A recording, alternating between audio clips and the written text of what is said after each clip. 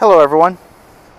Today we're going to take a quick look at this brand new 2015 Dodge Journey Crossroad all-wheel drive.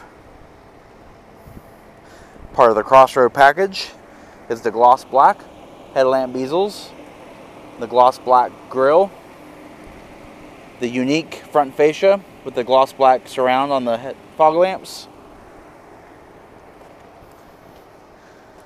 Also has these hyper black 19 inch aluminum wheels. This vehicle is painted in Redline 2 Pearl Coat. Has the black leather seats with the sport mesh inserts. It is powered by a 3.6 liter V6 engine with a 6 speed automatic transmission. As stated before, this is an all wheel drive. This vehicle has the flexible seating group, which includes the second row 40-60 tilt and slide seat, the third row, third row, sorry, 50-50 split fold reclining seats. Also has the three-zone automatic air temperature control. This vehicle also has uh, automatic headlamps, universal garage door opener, heated seats, heated steering wheel, has a remote start with the keyless enter and go. Let's go and take a look at the interior. Alright, so inside this vehicle has power heated mirrors, windows and door locks. Also has a six-way power driver seat with four-way adjustable lumbar support. Alright, we're just going to pan through the interior. To give a little bit more detail, a little bit more information. Trip computer buttons. Uconnect Bluetooth and voice recognition buttons on the steering wheel. The vehicle does have a trip computer center mounted. Cruise control mounted on the right side of the steering wheel. The vehicle does have push button start. 8.4 inch Uconnect touchscreen display. This vehicle is equipped with heated seats and heated steering wheel.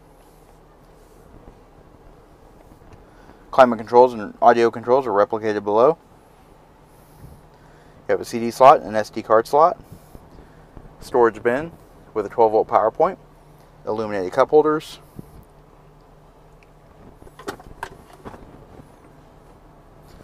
good amount of storage in the center armrest. Also has a power point in there as well. You also have auxiliary and a USB charge port as well for the Uconnect. Another nice feature, the passenger seat does lift up to reveal more storage.